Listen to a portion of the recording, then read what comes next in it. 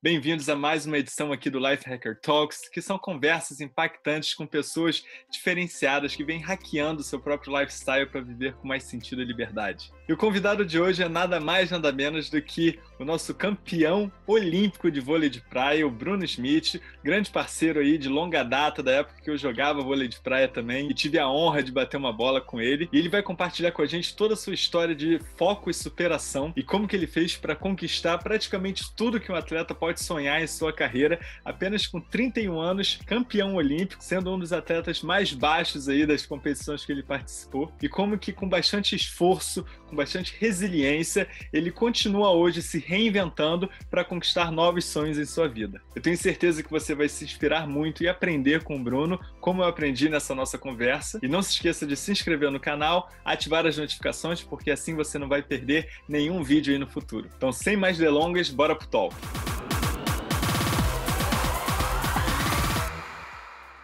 Bem-vindo, Bruno. Aqui é o Life Hacker Talks. Cara, um prazer, um orgulho poder te receber aqui. Amigo aí de longa data, parceiro. Na época que eu jogava, pude ter o prazer aí de aprender bastante com você, bater muita palma para você jogando. E, e hoje em dia, orgulho de poder tê-lo aí como campeão olímpico representando o nosso país no vôlei de praia. Então, obrigado pela presença. Pô, valeu, Ian. Eu agradeço. Realmente lá atrás, quando a gente se encontrou, você já era um atleta campeão mundial sub-18.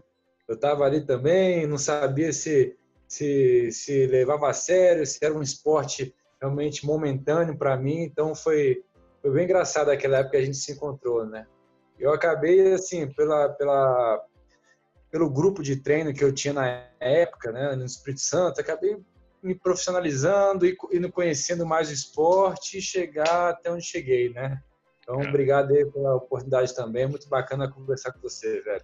Pô, orgulho, orgulho. Ver que a gente, eu posso considerar a gente aqui na, naquela equipe dos anõezinhos, né, do vôlei de praia. Então, aquela galera que ali ninguém pensava, porra, como é que o cara com 1,80 e pouco tá jogando aí entre os grandões e ter você representando essa galera mais baixa aí e mostrando que é possível ser campeão olímpico, né? Não só olímpico, tudo que você já foi campeão é, é um orgulho muito grande para a galera que está começando e que talvez não tenha esse estímulo tão forte aí por achar que é, coisas que a sociedade ou que pessoas no esporte nos dizem como certo e errado, né, às vezes como limitações, simplesmente ah, depende do nosso esforço né, para poder superar.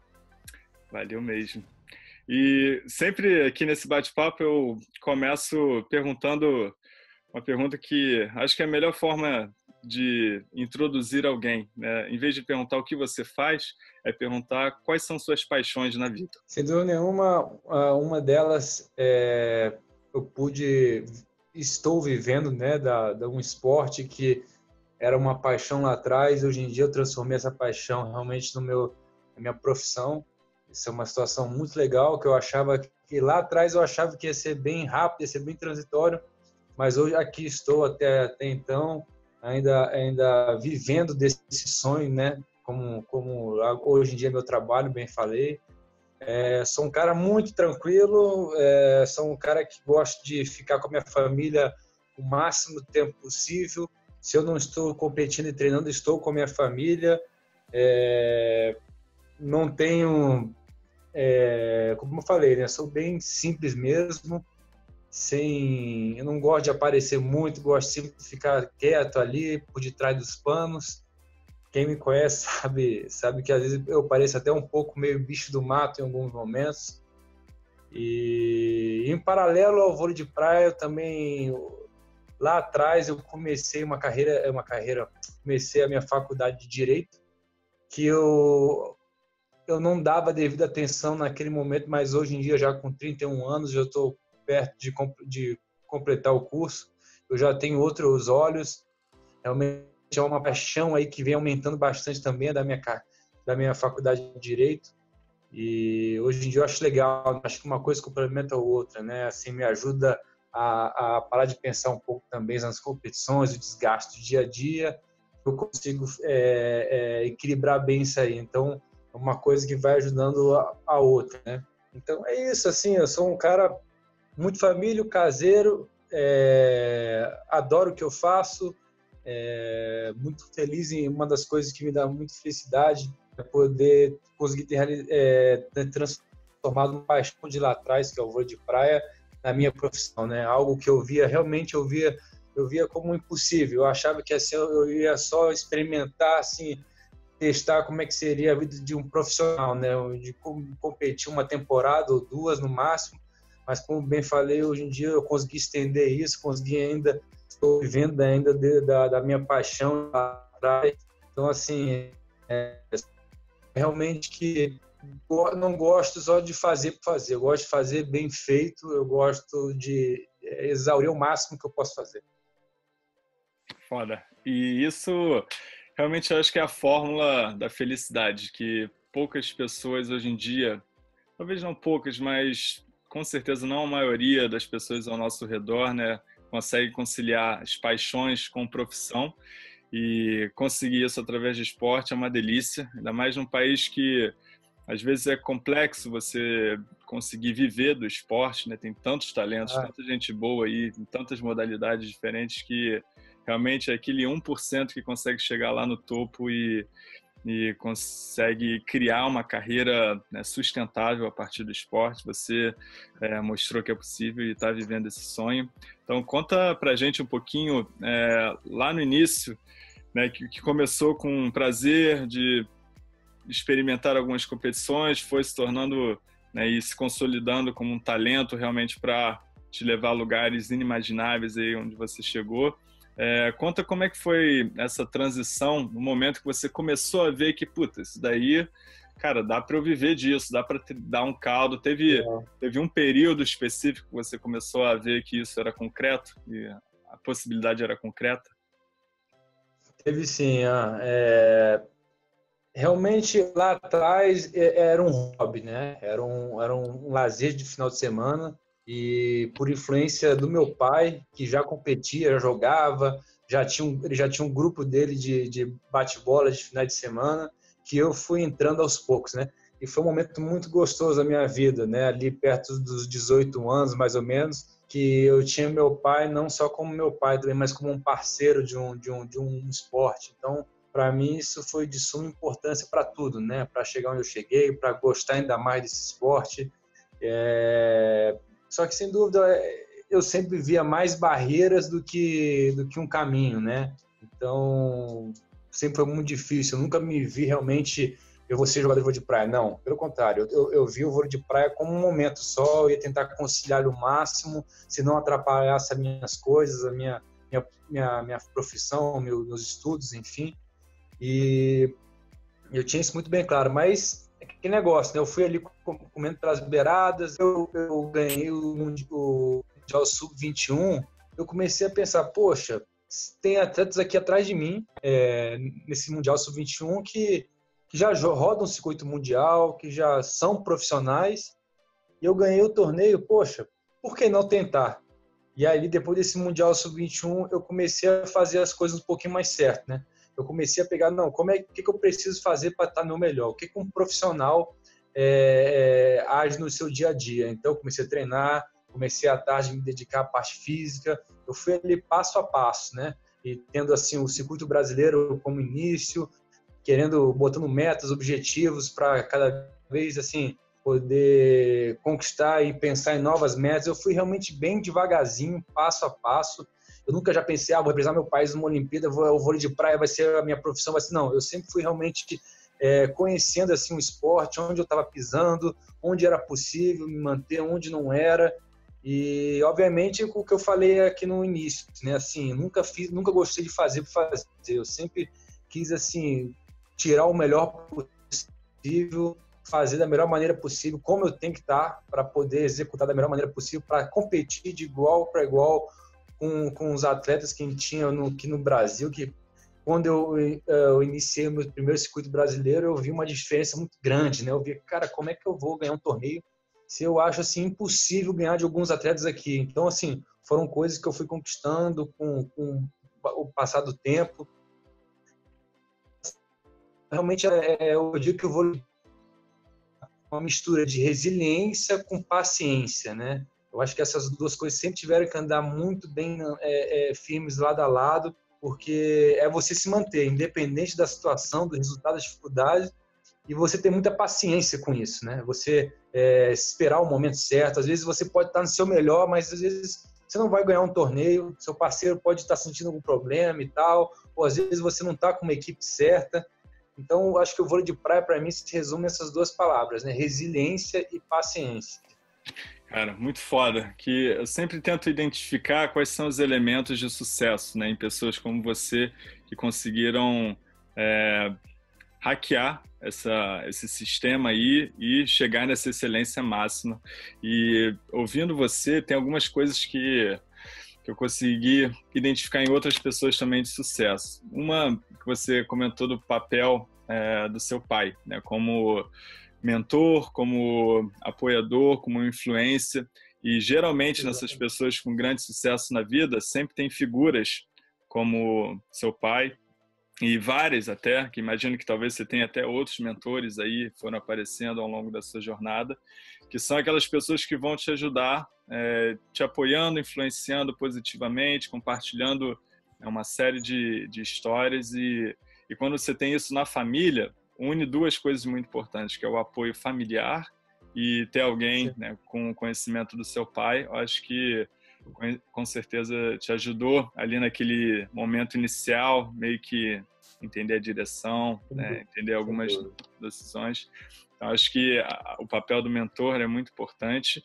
Outra coisa que você falou que eu amei a maneira como você resumiu é a questão da resiliência e paciência.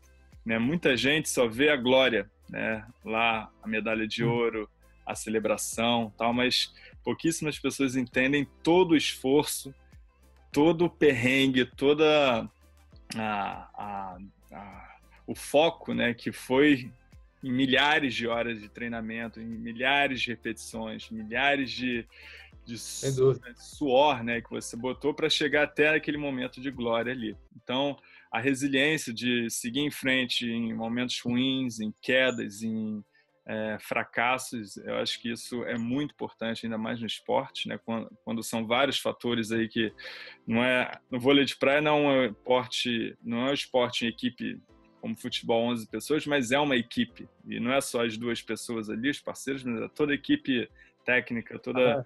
toda a equipe por detrás. Então essa resiliência né, com todos esses fatores é muito importante.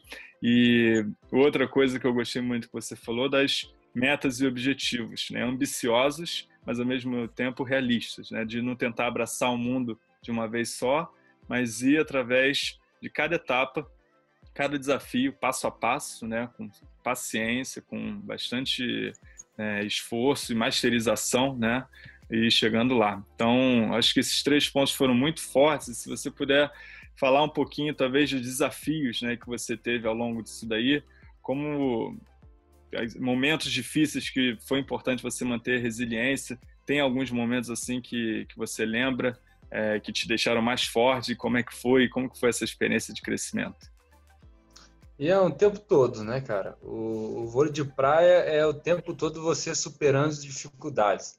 Até mesmo assim, como olímpico, as pessoas às vezes acham que não tem mais dificuldades. Eu digo, a dificuldade ela só muda o formato dela, a maneira que ela se apresenta para você. Até hoje também eu tenho que me concentrar, tenho que superar novas dificuldades. Hoje, é, eu e o Ares, por exemplo, nós somos um time já com, vamos formar cinco anos de parceria. Então, são cinco anos que a gente está sendo estudado, o mundo todo quer ganhar da gente, é, diversos fatores que a gente está realmente tem que estar tá se reinventando então, assim, é, algumas duplas a gente já jogou quase 20 vezes contra, então todo mundo tem tudo muito estudadinho, assim, o fato de você estar tá conquistando, de você estar tá chegando em finais, é, em contrapartida você tem, tem, mais estudos a respeito de você, da sua dupla, e quando você fala isso, projeta isso no mundo todo, então é, é uma dificuldade que a gente enfrenta hoje em dia de estar tá se adaptando, a gente vai jogar hoje em dia, o pessoal sabe cada passo nosso dentro de quadra, então essas dificuldades vão só aumentando, a, a cobrança individual, a cobrança coletiva. Né? Hoje, você, como campeão olímpico, as pessoas acham que você vai ter que ganhar tudo. Que, poxa, como é que o campeão olímpico perdeu um torneio aqui no Brasil e tal? Então, em contrapartida, eu sou um cara também que me cobro muito, eu gosto de retribuir. Se as pessoas me cobram é porque elas têm confiança no meu trabalho, então isso assim me dá me dá um prazer. Então, assim, como eu falei, a, a, cobrança, as dificuldades, elas vão só mudando o formato. Cada dia, cada ano, cada temporada, você vai tendo que superar essas dificuldades de maneira diferente, né? E, e falando da, da, da, da, minha carreira, assim, é, em 2016 eu tive uma medalha olímpica mas as pessoas não, não às vezes não como se não, não pensam nem, nem tentam saber como é que foi para você chegar até lá que foram 10 anos até, até eu comecei ali em 2006 mais ou menos profissionalmente. Então foram 10 anos é, brigando 10 anos superando 10 anos que nesse momento nesse momento é, eu cheguei a parar de pensar em parar de jogar. E foi realmente por isso que eu, eu, eu, eu, eu dediquei a medalha olímpica ao meu pai, porque ele foi um cara que sentou comigo, pediu calma, mostrou como é que estava o cenário. Meu pai, graças a Deus, é um cara que entende muito desse esporte, então ele acompanha, ele sempre assistiu todos os torneios, se, se, se não ao vivo, em casa. Então ele sempre ele foi um cara que sentou comigo falou, pediu para analisar o cenário, ter calma que passando esse ciclo olímpico que eu estou de fora, o próximo eu vou ser a bola da vez se eu ficar é, é, é, é mantendo meu trabalho, assim, o fator idade ia pesar para alguns e ia me favorecer. Então ele sempre me pediu paciência para lidar com essas situações, né? Porque para mim realmente sempre foi um pouco frustrante, assim, eu sabia que eu era capaz, mas é, tinham várias coisas que pesavam contra, né? Um projeto que a, a CVV iniciando lá atrás, antes de, de Londres, que era um projeto de jogadores altos, então só jogadores altos poderiam fazer parte da, da, da dos, dos, apoiados por ele no circuito mundial. Então isso assim me deixava de fora de um monte de planos, né? Planos de você formar um time e tudo mais. É... Então tive que superar diversas situações, né? E realmente as que mais é, foram complicadas para mim foram as, as minhas dificuldades mesmo. Eu não queria perder tempo na minha vida, né? Eu não queria olhar para trás assim, poxa, só perdi tempo atrás de um sonho. Então, diversas vezes eu chegava, pô, pai, já deu, não dá mais para continuar, eu estou perdendo tempo aqui, meus amigos já estão formados, trabalhando, e eu estou em busca de uma, de uma, de uma vida aqui, porque eu não estou vendo horizontes para mim. Então, por isso que eu falo assim que a, a resiliência, a persistência, para mim, foram muito importantes para eu ter passado por isso. Hoje em dia eu olho e vejo que se não fosse esses momentos, eu não teria chegado forte, não teria chegado confiante num, num jogo, numa, num Jogos Olímpicos dentro de casa, né? Que você passava, todo mundo falava, ó, oh, no Brasil aqui é ouro, hein? Ó, oh, não, não pode ser nada diferente disso, hein? Vamos deixar passar. Então essas coisas assim, é, de certa forma, é, o pessoal queria ajudar, mas não sabia como atrapalhar, porque eu sou um cara que me cobra o excesso, né? Eu não queria só participar dos Jogos Olímpicos, né? Eu queria realmente botar meu nome na, marcar meu nome na história. Cara, isso é, isso é muito forte. E, e marcou, né? E conseguiu deixar seu nome aí. E muita gente cara, se inspira muito com tudo que você conseguiu criar e nem todo mundo sabe dessa história toda por detrás de todos os perrengues. Então, eu acho que compartilhar isso é muito importante para mostrar que não é só um mundo né, cor-de-rosa, tem é, muito perrengue, tem muito crescimento, tem muito esforço, né? E, e essa é a história que se repete de todo mundo que conseguiu conquistar algo grandioso na vida, né? Então não tem fórmula mágica, tem que suar muito. E dentro dessa pegada, é, deu para perceber que você é um cara que se cobra muito, que sempre se exigiu muito e que a excelência é um valor muito importante na sua vida, né? De sempre, se você está fazendo algo, é se esforçar ao máximo para chegar na excelência daquilo dali. Então conta um pouquinho como é que foi esse essa essa cobrança interna e como que é essa cobrança interna ao longo da sua vida, mas de forma que você encontre um equilíbrio também para não explodir de ansiedade, de conseguir manter o foco na competição, conseguir manter o foco ali quando entra dentro de quadra, o que, que você faz para se manter ali no estado de flow e deixar é, todo, todo esse talento e todo esse treinamento né, aflorar. Então, fala um pouquinho dessa. Como que isso funciona para você? Você possui rituais aí que te ajudam a manter esse equilíbrio? E quais são os rituais também para manter foco total dentro da quadra? Exato, Ian. Você tocou nos pontos assim que realmente mais me incomoda, né? Eu não tenho medo de falar disso, não tenho é, nada assim de expor, é, é, é expor situações frágeis, não tenho problema com isso, porque quando a gente entra em quadra, acaba que se resolve ali na hora e tal, e você está num dia bom, você supera qualquer dificuldade. Mas, sem dúvida, é, um é uma situação que acho que é um problema que eu ainda tenho. Né? Eu sou um cara que me cobra em excesso, eu sou um cara que tem dificuldade de relaxar, às vezes de ligar, de apertar aquele botão off, né, de competição, de, de, de auto é, é, cobrança. Então, isso realmente aumenta a ansiedade. Eu, eu sou uma pessoa que tem dificuldades para, às vezes, dormir, relaxar. Às vezes, a competição ou o momento que eu me encontro acaba me tirando o sossego, a tranquilidade. É... Tem três anos, desde, desde o ciclo passado, que eu trabalho com uma psicóloga esportiva e tem sido muito importante para mim. Realmente, aquele negócio eu costumo, o pessoal me pergunta, pô, adianta mesmo? Cara, quando você está naquela maré boa, você precisa de ninguém, né? É, você, você vai sozinho em qualquer situação. Agora, quando realmente se encontra um momento difícil, um momento que você tem que fazer força para superar, um momento que você perde a confiança, aí, aí, aí você, você dá valor a uma psicóloga, né? Aí você vê, poxa, como é bom que você está amparado por uma psicóloga. E é exatamente isso que eu falo de, da, da profissão. Então, para mim, tem sido muito importante cada, cada, cada trabalho com a psicóloga, cada temporada é um aprendizado a mais da minha pessoa, né? Eu, o Alisson é um cara que chega em qualquer canto, encosta, dorme, relaxa, consegue realmente desopilar, assim. Eu, eu sou um cara é, complicado. Por exemplo, se eu tive uma competição mal cedida, eu acabo refletindo isso em casa. Minha esposa acaba, às vezes, entende, poxa, ele está meio estressado, fica ali na dele. Então, são uma é, situação que até hoje, mesmo sendo atleta experiente, eu estou aprendendo a lidar com isso. Eu sempre tento é, é, é encontrar a melhor maneira possível para resolver, para não eu não sugar demais, eu não só gastar energia dentro de quadra. Eu costumo conversar isso muito com o técnico, né? É, nos Jogos Olímpicos mesmo foi um momento de maior ansiedade da minha vida. E ele falava, ó, vai assim mesmo, vai como tá, tá nervoso, tá ansioso, vai assim mesmo. E foi uma frase simples, mas muito verdadeira, né? Foi assim que eu lidei os jogos todos, né? E, e o bacana é que, assim, mesmo sendo até experiente, com, com os, os, maiores títulos da, da, modalidade, mas até hoje eu enfrento realmente essa dificuldade. Eu quero tentar melhorar, eu quero tentar ser um cara mais tranquilo fora de quadra. Eu acho que isso que é o bacana, né? Você tentar realmente é, fechar cada pecinha que está faltando né, na, na, na sua estratégia.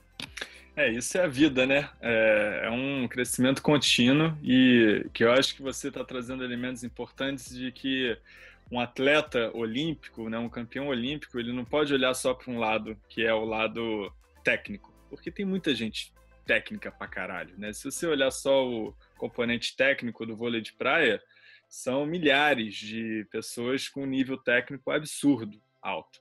É, a diferença não está ali, a diferença é do equilíbrio, do corpo, mente e alma, né? de você conseguir equilibrar né, os três e quando você consegue masterizar esse, essa tríade aí, é aí que você consegue superar, porque no detalhe do tie break 14 a 14, ali 15 a 14, é aquele último saque que você vai, porra, forçar ali para pegar na linha, é, isso não é técnica. Técnica todo mundo tem ali. É a questão do culhão, de chegar ali, porra, não, vou. É aquela pressão de sei quantas mil pessoas gritando no seu ouvido ali, você conseguir se concentrar e, porra, ir para o último ponto. Então, é, isso tudo é o emocional. E, e, ter a consciência de que trabalhar o emocional é tão importante quanto trabalhar o técnico ou físico, é, é o que diferencia, né? E poucas, talvez, pessoas tenham possibilidade, ou tenham humildade, ou tenham a, a consciência de que é importante. E você trabalhando isso em você, com certeza, é, você está um passo a mais do que muita gente aí que talvez não enxergue o valor, né? Como você enxerga nisso. Exato, eu acredito muito nisso. Irado, irado, foda. E em relação a. Você trouxe um ponto que eu achei muito interessante, que hoje em dia, com quanto mais tecnologia, é, a forma como a gente estuda também o, o esporte está se tornando completamente diferente há 10, 15 anos atrás. Né? E quando você fala que né, é o mundo todo estudando vocês né, há um bom tempo para entender cada movimento, cada passo, cada técnica, cada ponto fraco, cada estratégia. E então é muita gente, tecnologia para mapear, né, o, o jogo de vocês. E isso demanda um, uma constante reinvenção, uma constante evolução. Como é que vocês conseguem se reinventar, né?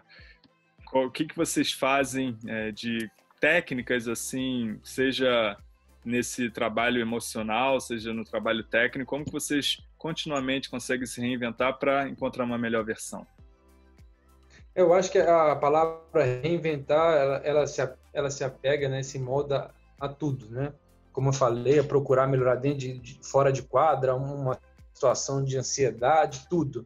Mas especificamente dentro de quadra, é, a gente tem um, realmente, os jogos hoje são filmados, ninguém entra hoje no escuro, é, como a gente jogava atrás, né? Sacando e vendo o que podia acontecer. Não, para hoje ele é todo, cada, cada passo, cada caminho você sabe, você estudou para isso, você sabe aonde é os, os, os pontos fortes e fracos do adversário e os seus e o como ele gosta de jogar contra você. Então é, é muito isso. É, e a gente é, mudar, é, apresentar uma situação nova, um cenário novo para o adversário que ele não esperava. A gente já está antevendo o que ele vai fazer com a gente. É, a gente não ficar naquela mesma mesmice, né? achar que vai ganhar fazendo só aquilo que fez, não é bem isso. Hoje em dia, por exemplo, se você saca muito bem para a direita do adversário, no jogo pode ter certeza que ele já está esperando aquele saque ali e a, até a maneira como você faz a sua o side out, né, a sua virada de bola,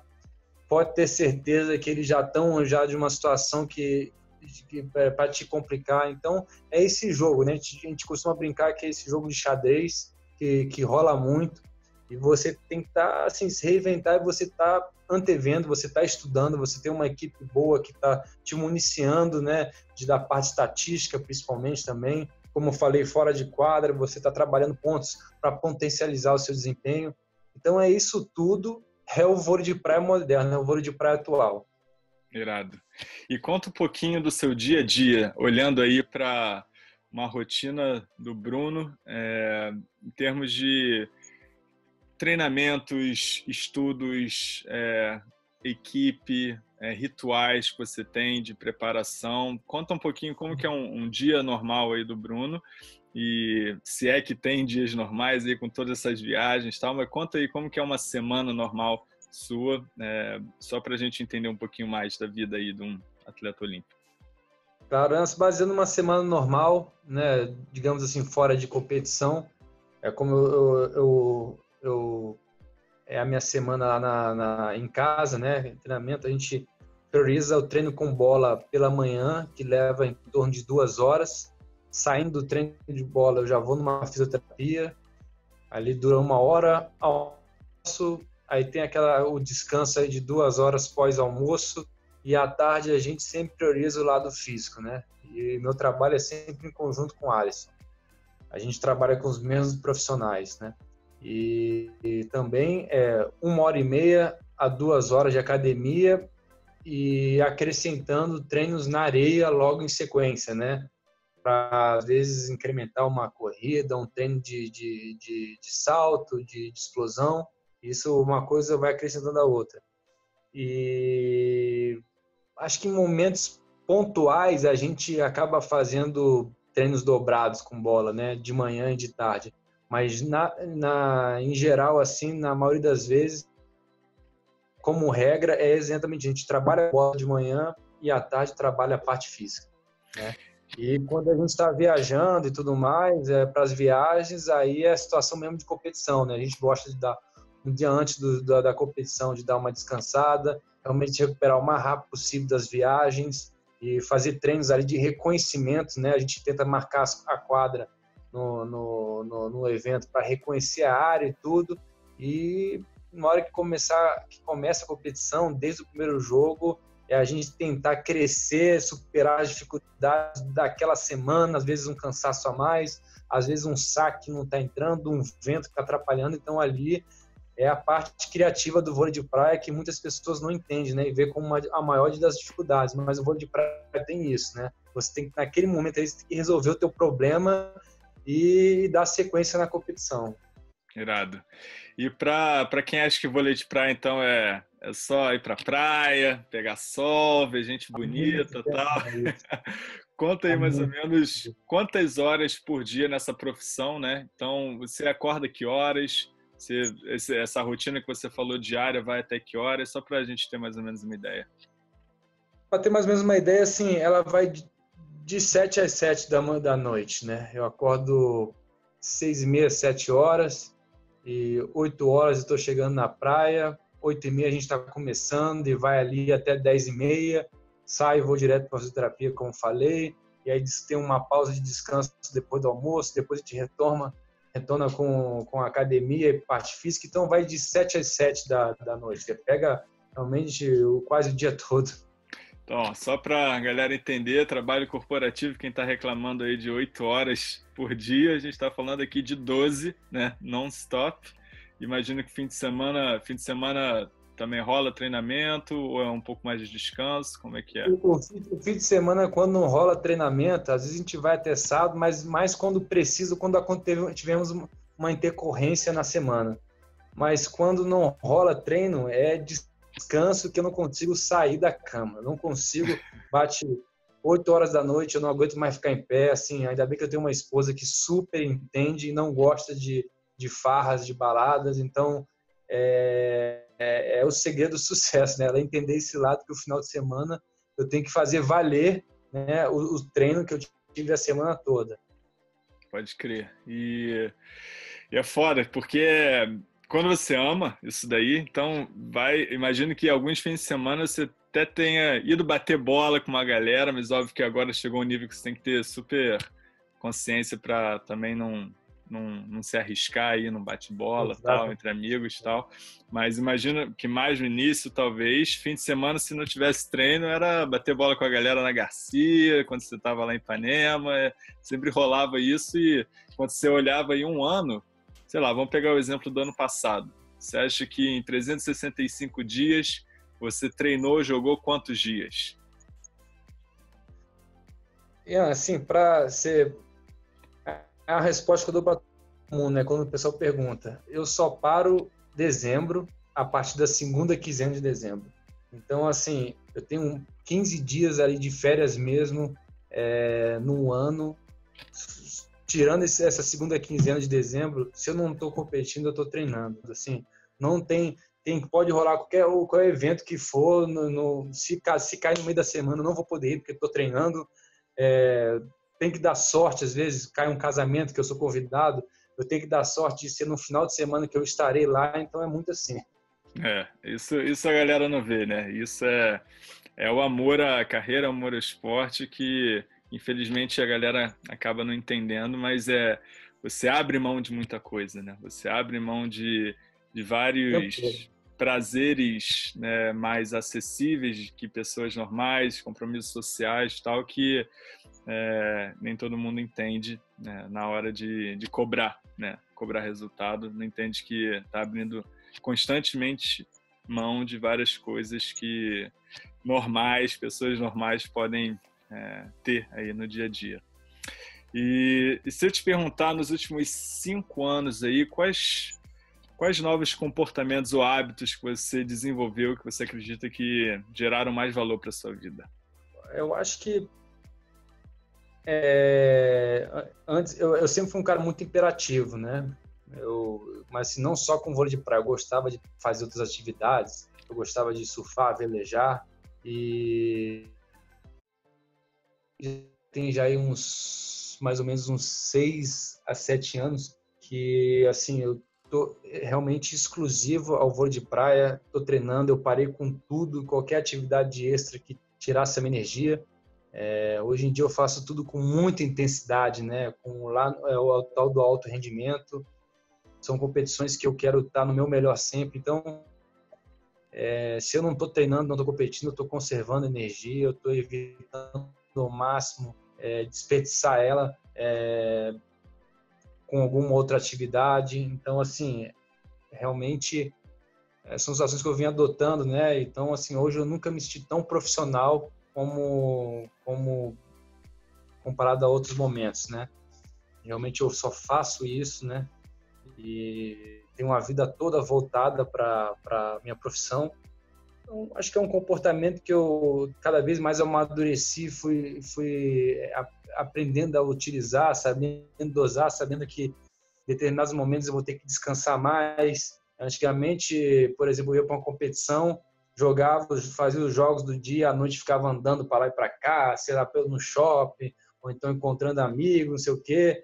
E hoje em dia, se eu fizer isso, eu não dou conta. Então, assim, é, é, é competir, principalmente quando estou na competição, é competir e hotel, competir e hotel. Então, são situações que você vai, exato, dormir cedo pra caramba, são situações que você vai realmente cada vez mais aprendendo a usá-las assim da melhor maneira que refletem direto na, na, na rendimento. Claro. Então acho que é o foco, né? É ter clareza do, do foco de, de conseguir transformar essa energia toda, concentrar essa energia toda num, num destino, numa direção, né? numa, num, num propósito que eu acho que vai te gerar esse, conseguir sair da, dessa questão de a maioria tá para chegar um passo a mais e no alto rendimento. Então, realmente, o foco, eu acho que é um dos problemas que, é uma das dificuldades que a maioria das pessoas tem na vida é, de não ter tanto foco ou não ter tanta resiliência para concentrar os esforços numa coisa só e acaba abrindo várias iniciativas e tendo poucas acabativas, não consegue levar nada né, para um, um próximo step.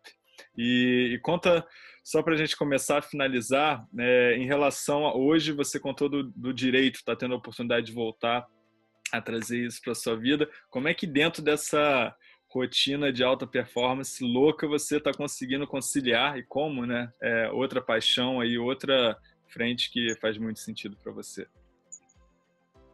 É, não é fácil, né? é, realmente quando a gente está competindo na nossa cabeça, fica muito cansado e você ainda estudar, se trabalha muito o cérebro, então é uma outra musculatura que realmente cansa.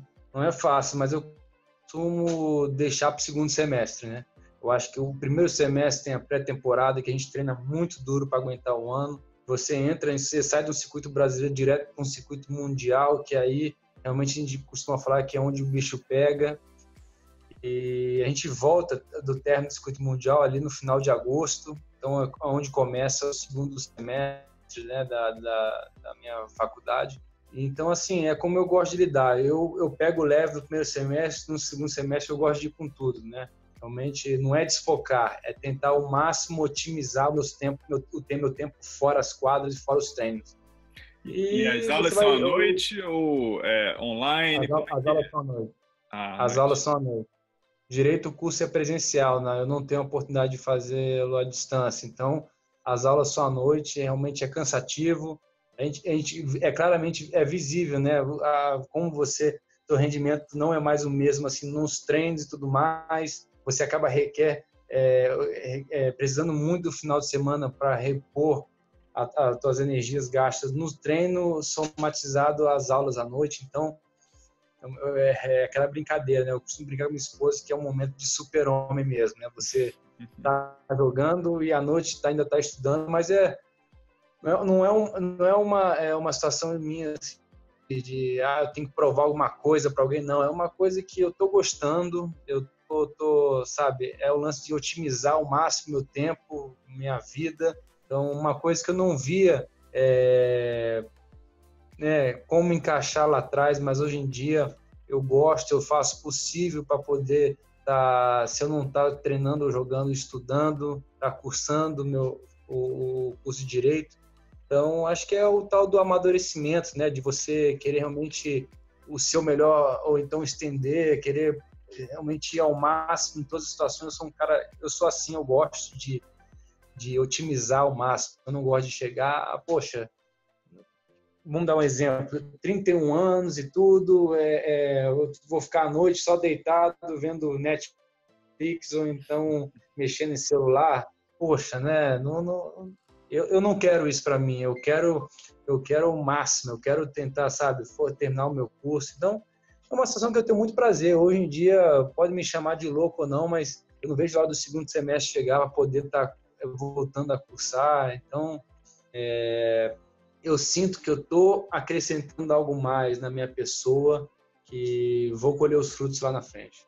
Perdido, irado. E o que, que você faz em termos de alimentação ou outras técnicas, de repente, sei lá, meditação, yoga, coisas aí para manter esse nível de energia de super-homem aí, porque com esse ritmo de treinamento que você falou, para depois ir para aula ainda e ter outro, outra musculatura, né, que você falou a mental aí e ainda conseguir ganhar tudo que você ganha, é realmente uma energia de super-homem e tem pequenos hacks e coisas complementos que você utiliza que te ajudam a manter esse nível energético lá no alto? É, é, é a parte realmente que esse ano, principalmente, toda né? é hoje você com 31 anos é bem diferente de você com 20 e poucos, né? O que você come e tal, seu corpo recupera rápido e a alimentação ela reflete direto na energia, na recuperação. Então, hoje em dia, eu tenho um aplicativo que está sempre me auxiliando, é, nutricionistas é, 24 horas comigo, é, olha, coma isso, não coma aquilo, sempre ali com cardápio para uma determinada situação, um momento que eu estou vivenciando. Sem dúvida, poxa, a gente falou tanto aqui de trabalho mental e tudo, imagine a alimentação, né? Ela reflete direto se eu vou estar com energia ou se eu vou recuperar é, de uma semana difícil. Então, é uma coisa que eu dou muita atenção, sim.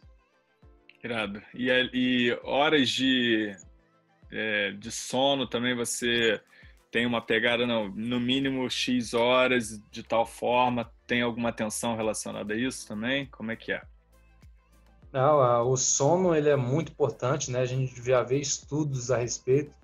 É uma, é, é, acho que é uma peça que ainda falta para mim assim trabalhar com perfeição é o sono. Eu sou uma, eu sou uma de, de, de, de sono com facilidade. Eu costumo dormir só à noite, né? Ainda à tarde, assim, eu não durmo, mas assim, eu tô sempre descansando, tô sempre é, evitando de ficar em pé ou andando para lá e para cá. Então, acho que eu tento agir como se estivesse tentando é, suprir um déficit que eu tenho de, de, horas de sono. E, como bem falei antes, é, tem estudos a respeito, né? O sono reflete diretamente em crescimento muscular, em recuperação, é, recuperar, evitar lesões. Então, é, é, é, a cereja do bolo hoje que todo mundo trata com muito carinho, né? Sem dúvida.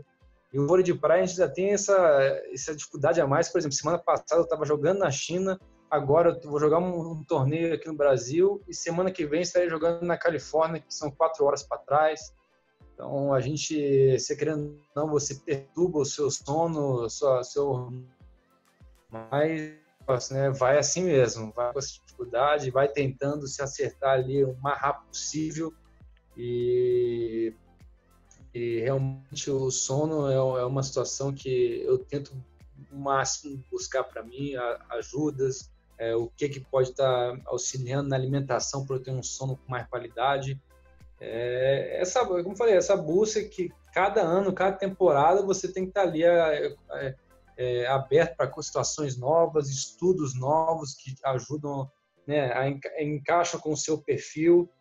Então, você não relaxa né, em nenhum ponto. E tem coisinhas assim nessa pegada para você recuperar mais rápido do fuso ou pequenas técnicas aí de alimentação para te ajudar no sono, tal que que você hoje está testando? que eu estou lendo o um livro agora também que se chama Why We Sleep, que é bem sobre essa pegada do sono. Eu estou aprendendo coisa pra caramba, que eu já venho hackeando um pouco meu sono há um tempo, mas eu estava diminuindo as horas para ir mantendo o nível de energia legal, mas agora com esse livro estou mudando a porra toda porque eu vi que realmente oito horas, de sete a nove horas são importantes e tem impactos aí muito importantes, não só no curto prazo, mas no longo prazo e tal. Então, eu queria saber de você Principalmente no longo prazo. Principalmente Isso, no longo prazo. Exatamente. Então eu queria ver com você, principalmente na parte de fuso horário e outras coisas. Se, tipo assim, você veio da China agora, já está entrando no torneio, tem técnicas aí que você utiliza para reequilibrar um pouco o seu organismo? Olha, eu, desde que descobri a é a única coisa que tem me dado diretamente, né? Agora mesmo na China, é, em menos de uma semana eu consegui avançar 11 horas no meu fuso horário. Então acho que só medicação mesmo e eu gosto de tomar melatonina. Acho que ela tem me ajudado nos últimos dois problemas assim, com fuso horário, com noites mal dormidas. Então é uma pequena peça. A gente sabe que isso não é, não vai resolver meus problemas, mas ela ajuda. Ela, pelo menos ela, aquele sono ali um pouco mais relaxado na hora que eu preciso, quando eu estou um pouco mais cansado. Então, eu tenho gostado muito do uso da melatonina, né? Venho até indicando para os amigos aqui que vivem a mesma situação que, que eu. E, mas fora isso, assim, da parte de alimentação, normal, né? Sigo uma dieta normal, é, não gosto muito de trabalhar com suplementos, só com alimentação mesmo. E na parte do sono, só a melatonina mesmo tem sido um, um, um plus que eu tenho usado nos últimos dois anos, que tem me ajudado consideravelmente com esse, principalmente o fuso horário. Perfeito. Excelente. Então, ó, para finalizar, Bruno, que esse papo aqui poderia continuar aí aprendendo com você durante um bom tempo, mas imagino que você tenha que dormir aí também para a rotina de treino dos próximos dias. Queria saber se pudesse dar um conselho para a galera nova aí que queira realizar um sonho na vida, nem só esportivo, mas que queira seguir em frente com um sonho, mas que hoje vê uma série de obstáculos, vê uma série de conselhos ou dedos apontados de pessoas dizendo não é possível, não dá, você não tem os recursos necessários, esquece isso. Que provavelmente você deve ter ouvido de algumas pessoas ao longo da jornada. Uhum. Então, qual, qual conselho você daria para essa galera aí que está buscando atingir esse Algumas sonho? palestras que eu, que, eu, que eu dei e alguns bate-papos, principalmente com a gurizada, que eu gosto muito né, desse contato com a gurizada, é... Primeira coisa de tudo, eu falo assim, que não é só no ambiente esportivo, né? Isso aí é geral, qualquer área que você for tomar. E a, a parte da superação, ela vai ser muito importante para você chegar com firmeza, chegar realmente com um desempenho concreto, né? Você saber o quanto você superou para estar tá ali. Então, é, ninguém é, é, pode pensar que vai ter um caminho mais fácil possível. Isso é no esporte, em qualquer outra área.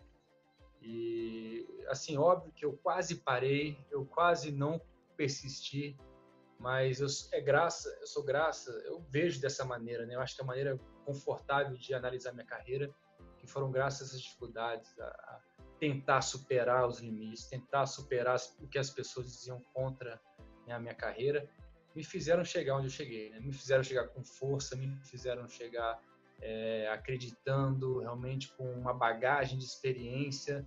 Então, né, assim, é óbvio que as dificuldades podem te fazer às vezes até perder o caminho, né?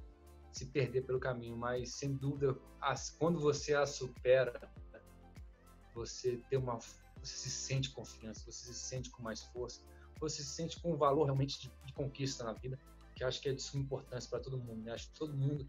A gente, a gente não tem aquele pai que, quando dá muita facilidade para o filho, ele fica até preocupado como é que vai ser né, o crescimento pessoal dessa criança, desse filho. Então, é basicamente isso.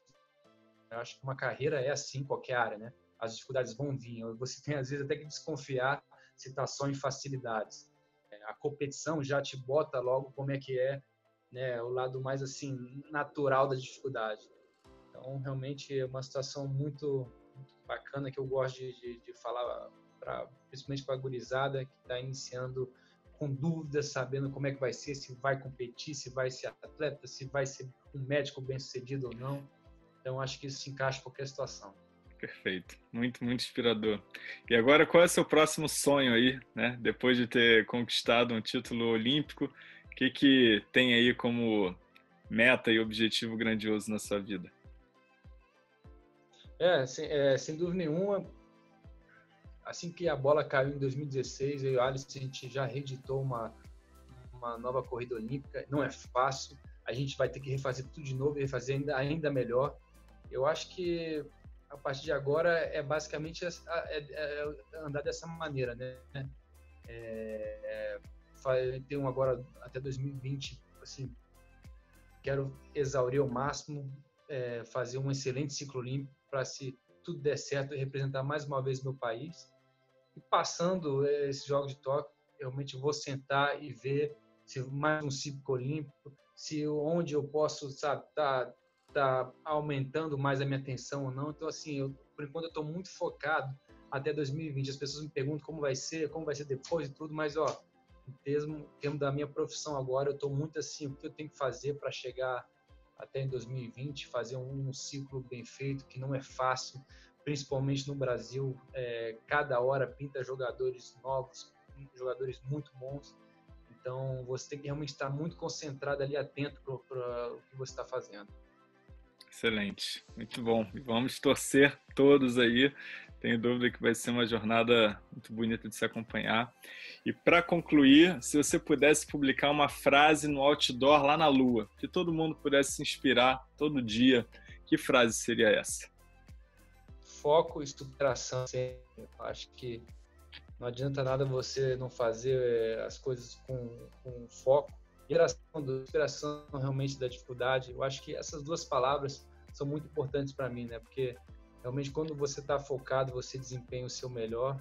E superação, porque eu acho que a, a superação ela, ela, é muito importante para o atleta, e principalmente no momento que eu me encontro, eu acho que eh, a superação vai me ajudar a estar tá no meu melhor então, eu gostei de trabalhar com essas duas palavras, foco e superação no caminho, que eu acho que é, eu vou estar o mais próximo possível do, do, do meu melhor, do que eu quero para mim. Excelente.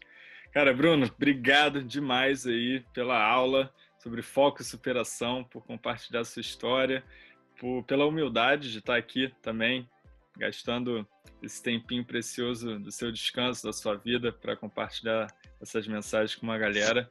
Obrigado mesmo, foi um prazer. Vamos continuar torcendo aqui bastante pelo, pelo seu crescimento, pela sua superação. E novamente, valeu aí, foi um grande prazer.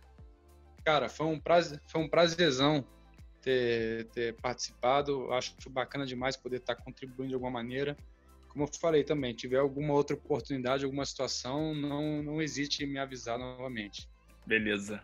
Valeu, hein? Obrigadão, Rei. Até a próxima. Bom torneio Sei aí. lá, mestre. Valeu. Tchau, tchau. E aí, curtiu essa edição do Life Hacker Talks com o Bruno? Animal, né? Cara, com certeza um exemplo para muitas pessoas que se perguntam hoje se é possível não realizar seus sonhos, se é possível não conquistar coisas grandiosas na vida. Tá aqui um exemplo concreto de que não acontece de um dia para o outro, não cai no colo de um dia para o outro, você precisa treinar, você precisa se esforçar bastante, ter clareza das suas paixões e começar a modelar uma carreira que envolva isso tudo. E mesmo que várias pessoas falem que não é possível, que você é louco ou que várias dificuldades aconteçam, basta você seguir em frente, superando dia após dia, com resiliência, com paciência, porque tudo é possível na sua vida. E se você quiser conhecer outras histórias de life hackers como o Bruno, só dá uma olhada aqui nos vídeos no canal. Eu tenho certeza que assim você vai se inspirando para seguir em frente com o seu projeto. E se curtiu, dê o seu like, compartilhe essa mensagem com várias pessoas, porque com certeza assim você ajuda o canal a crescer,